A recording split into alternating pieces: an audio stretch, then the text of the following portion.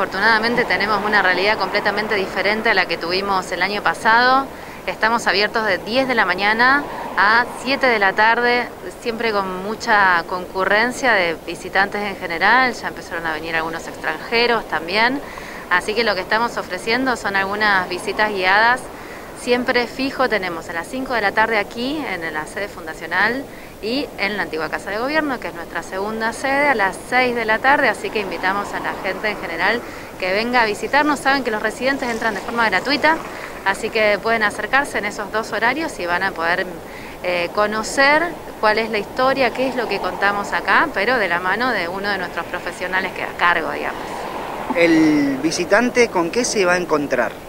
Se va a encontrar con dos edificios, eh, nuestra sede fundacional, lo que tiene es un poco de historia, desde que el humano llegó a estas tierras, tiene bastante arqueología, tiene también la historia de los naufragios, de las misiones salesiana y anglicana, tiene también eh, parte de lo que fue la investigación, en lo que hacían los primeros investigadores que llegaron a estas tierras y un poco de lo que es también medio ambiente y naturaleza a partir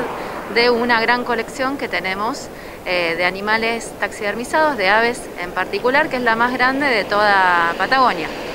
Como si fuera poco, eh, todo esto también contarán con eh, futuras actividades. Exactamente, tenemos una de las actividades que normalmente se brinda desde extensión, también puede venir a verla el público en general. Tenemos a Víctor Vargas a las 11 de la mañana usualmente, puede que algún día se posponga, pero tenemos a las 11 de la mañana la charla de Víctor testimonial aquí en sede fundacional. Otra charla que también tenemos es a las 2 de la tarde en la antigua Casa de Gobierno. Pueden acercarse y conocer eh, lo que sucede en la antigua Casa de Gobierno, que se expone, que es la historia cívica de, de nuestra ciudad y nuestra provincia, pero también las actividades de extensión incluyen lo que es la convocatoria a familias eh, niños, niñas con sus padres, vamos a tener nuevamente salidas al aire libre, así que estén atentos y atentas por favor a lo que es eh, las redes de cultura, por ahí salen siempre las actividades y a través del mail se contactan, se inscriben y espero que, puedan venir. ¿Cómo es el sistema de la entrada? ¿El visitante compra una entrada por cada uno de los edificios o una para los dos? Es una entrada para los dos, actualmente son 200 pesos para un argentino, 500 pesos para un extranjero. Si son estudiantes eh, o docentes es 150 pesos